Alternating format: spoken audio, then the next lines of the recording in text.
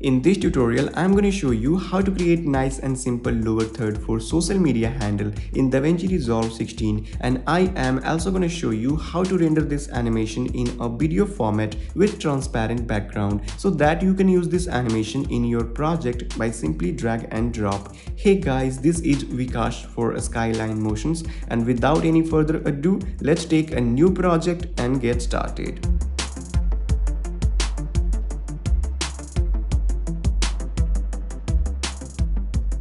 Alright, so click on this new project and let's call it Insta and click on create. And let's do some basic settings. So click on the shading button and set the size of this project 1920 by 1080. Let's go with 30 frame per second and set this playback frame rate 30 and click on save. And now let's create the animation inside of this Fusion tab. So we have to take a new Fusion composition. So go to media pool, right click on that, click on new Fusion composition and let's call it Fusion comp and set it 5 second long frame rate 30 and click on create. And drag this fusion comp on this timeline and then go to your fusion tab. And here we have media out so just drag this media out to the side for now. And let's take a background first. So click on this background button and drag this background to the viewer and make it pure white and hit F2 on the keyboard to rename. And let's call it background 1 hit enter and now let's attach an ellipse mask with this. So select this background and click on this ellipse button and set it like this. And set this width value something around 0.3 hit enter and set this height value 0.3 and hit enter. All right. And now let's import your social media logo that you want to use in this project. So go to media pool right click on that click on import media and in this case i'm using this instagram logo which is a png file with transparent background and you can find it on google and i will also provide a link in the description for this. So download this logo and click on open and drag this logo on this flow window and hit f2 on the keyboard to rename and let's call it logo. Hit ok and close this media pool and now let's merge these both outputs. So take a merge node and connect this yellow background point with this background and connect this green foreground point with this logo and drag this merge to the viewer. And now set the size of your logo like that. Now let's animate this logo. So go to on frame number 40 and add a transform node after this merge one. So select this merge one and click on this transform button and drag this transform to the viewer and hit f2 on the keyboard to rename and let's call it animation one. Hit enter and select this animation one and right click on size click on animate or you can also click on this diamond button to create a keyframe and go to one second back in time. So it should be on frame number 10 and set this size 0 and as you can see we have a very basic animation. So go to spline window and hit F4 to full screen and check this animation and click on fit button. And go to very beginning of this animation on frame number 10 and go to 5 frame forward in time. So it should be on frame number 15 and let's add a keyframe over here. So click on this button and add another keyframe on frame number 15 and now set the size value something around 1.1 and hit enter. And then go to 5 frame forward in time on frame number 20 and add another keyframe over here. And set this value 0.9 and hit enter and then go to 5 frame forward in time add a keyframe and set this value 1.05 and go to 5 frame forward in time on frame number 30 and add a keyframe and set this value 1 and go to 5 frame forward in time on frame number 35 and add a keyframe and set this value 1.025 and hit enter and click on fit button and select all these keyframe and click on a smooth button. And now let's play this animation. So as you can see we have a bouncing kind of animation and it's looking nice. Alright and now hit F4 to exit and close this spline window. And then right click on this flow window go to arrange tool and check this option to grid all right so it will help you to keep this node clean and organized. So set it like that. All right and now select this animation hit ctrl c to copy and create another copy of this. So hit ctrl v to paste hit f2 on the keyboard and let's call it animation 2 hit enter and now use this animation for this logo. So just drag this logo over here and hold shift on the keyboard and attach this animation after this logo like this. And now let's play this again. All right so it's looking much more interesting as you can see.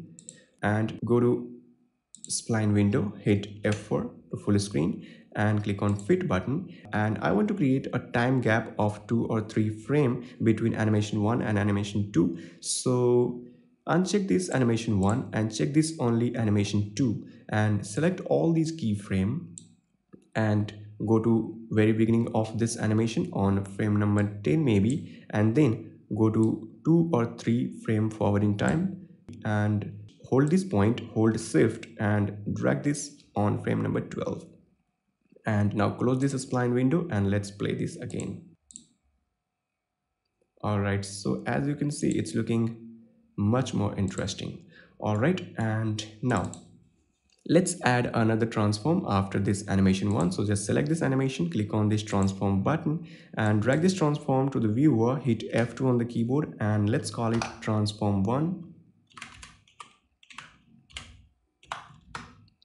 and now let's down the size of this. So set this value something around 0.55 and hit enter. All right. And now let's create another shape. So we have to take one more background node. So click on this background button and drag this background to the viewer and make it pure white. Hit f2 on the keyboard and let's call it background 2 hit enter and let's attach a rectangle mask with this. So select this background. Click on this uh, rectangle button and hit F2 on the keyboard and let's call it rectangle 1 and hit enter.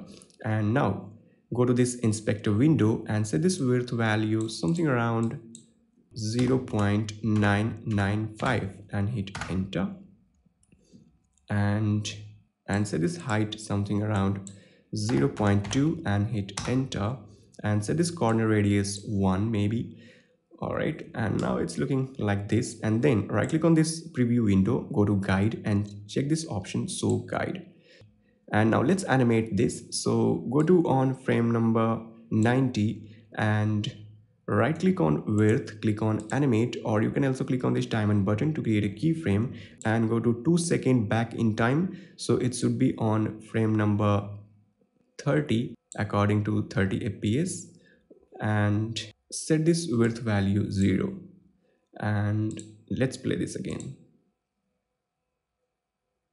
So as you can see we have a very basic animation. So let's make a smooth animation. So go to a spline window hit f4 to full screen and uncheck this animation 2 and check this rectangle 1 only and click on fit button. Select these both keyframes hit s to smooth and set the cti on frame number 30 at starting point and hold this handle and just set it like that and go to on frame number 40 maybe and hold this handle also and just set it like that and create a smooth curve like this. Now let's play this. So as you can see it's looking much more better. And now close this spline window. And i want to cut this extra part because we don't need it so we have to take one more rectangle tool. So click on this rectangle button hit f2 to rename and let's call it cut. Hit ok. And now set this rectangle box on this area over here like this. And now hold shift and attach this cut between these connection like this. And select this cut and go to this inspector window. And here is paint mode. So change this to subtract all right and as you can see we have something like this. All right and now let's create a duplicate of this shape. So just select all these node hit control c to copy and paste another copy over here by hitting control v and drag it like that. And now select this node hit f2 and let's call it background 3 hit enter. And select this rectangle hit F2 and let's call it rectangle 2 hit enter. And now drag this background 3 to the viewer and select this background and go to this inspector window and change this type solid color to gradient. All right and now let's create a nice gradient color. So set this gradient point over here and set this gradient point over here. And let's select a nice gradient color. So pick this point and pick a nice purple color. And pick this point and select this yellow color maybe and add another point in center of this gradient and add a color like this. All right and now select this first point and make it more. So as you can see it's looking like an instagram theme. And then let's merge these both outputs. So take a merge node and connect this yellow background point with this background 2 and connect this green foreground point with this colored background and drag this merge to to the viewer all right? And and now both are revealing at same time so i want to create a time gap of 5 frame between these two outputs. So go to a spline window hit f4 to full screen click on fit button and uncheck this rectangle 1 and check this only rectangle 2 and click on fit button select all these keyframe and move this on frame number 35 so hold this point, hold shift and just drag it like that. And close this spline window. And now let's play this again.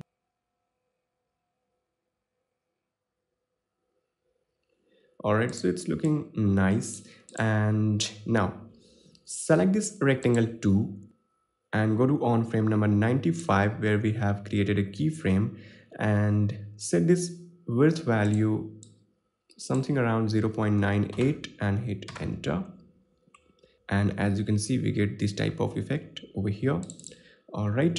And now we have to create a text. So click on this text button drag this text to the viewer and let's type your first text. So i'm typing follow on instagram.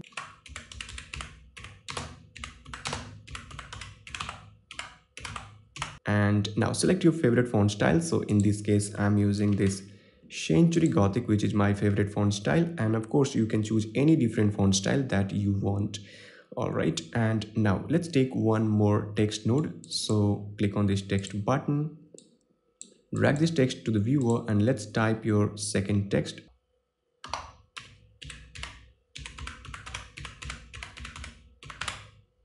Alright and now change this font style. So change this to Century Gothic and now let's merge these both outputs. So take a merge node and connect this yellow background point with this text 1 and green foreground point with this text 2 and drag this merge 3 to the viewer.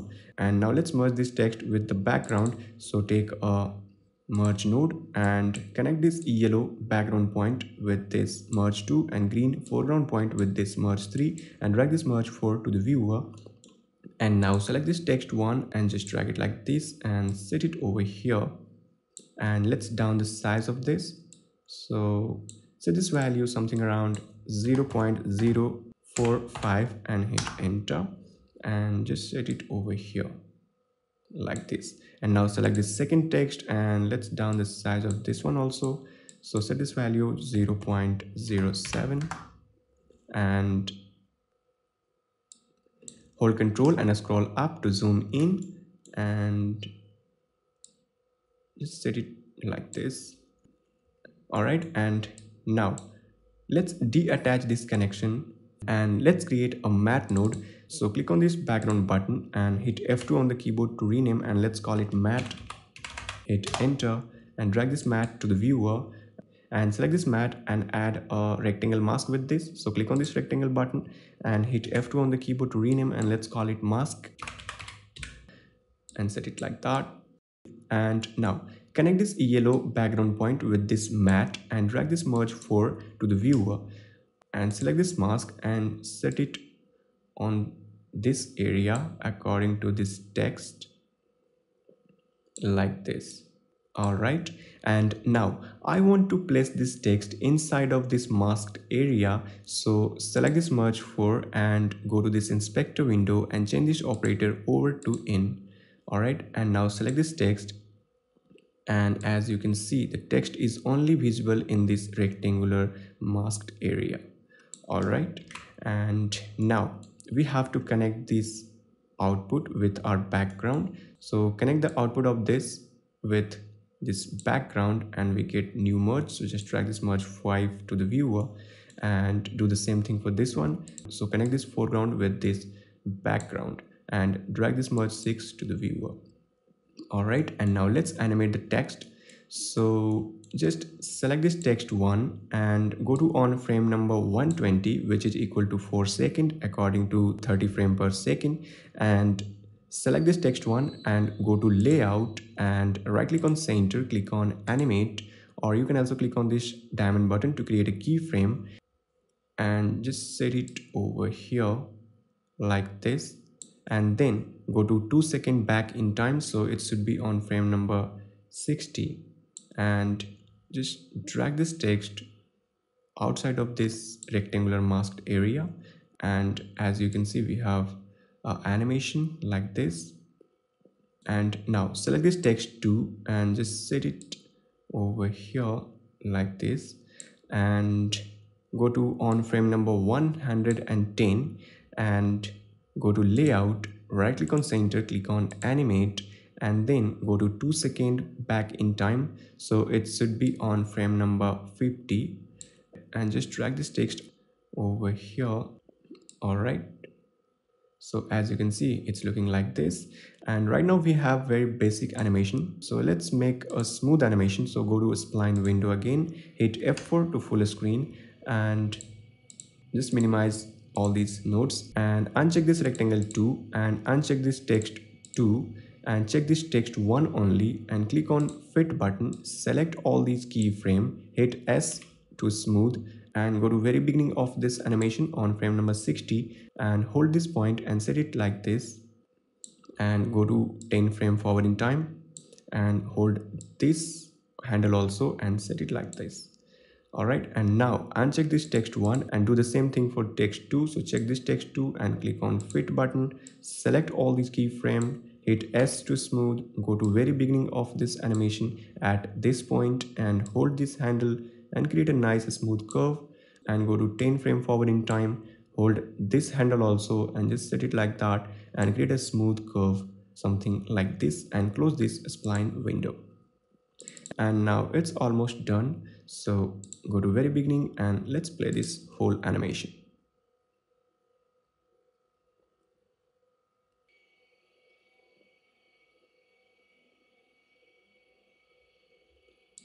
Alright so it's looking nice.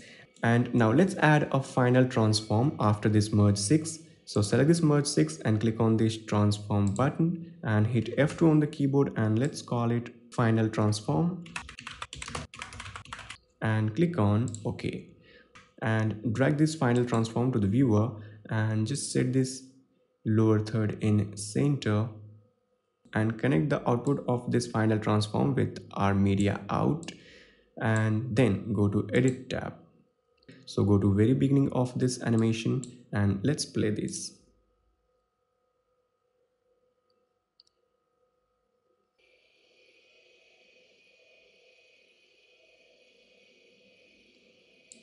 all right so it's looking nice. And now I want to show you guys how to render this animation in a video format. So just go back to your fusion tab and select this final transform and let's down the size of this.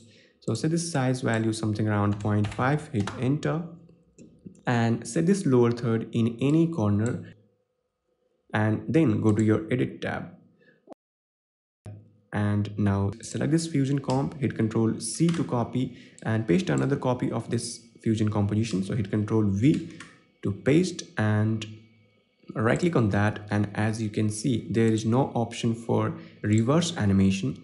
So we have to convert this fusion composition into a compound clip. So right click on this and click on new compound clip. And let's call it reverse animation. And click on create. And then right click on this reverse and click on change clip speed and check this option reverse speed. All right and click on change. And now as you can see we have animation in and animation out also. All right and now select both the clip and right click on that and click on new compound clip and make it single. So let's call it insta and click on create. And now let's render this lower third with transparent background. So go to deliver page and let's do some setting for transparent video render. So select your location first. So click on this browse button select this desktop and let's call it animation. Click on save. All right and just go to format and select a format AVI and select a codec that contain alpha export. So select this codec to Grass Valley. And as you can see there is no option for alpha export. So we have to check this individual clip. And then check this option alpha export and click on add to render queue and click on start render. And then go to your edit tab. And now delete this and let's import our render file. So click on import media and go to desktop and select this animation and click on open. And now drag this animation on the timeline. And let's check this lower third on a video footage. So just drag this on second timeline and let's import a footage.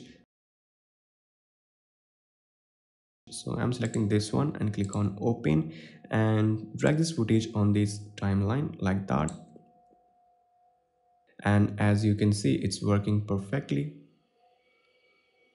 So cut this extra video clip and just delete it. And now it's done. So go to very beginning of this animation and let's play this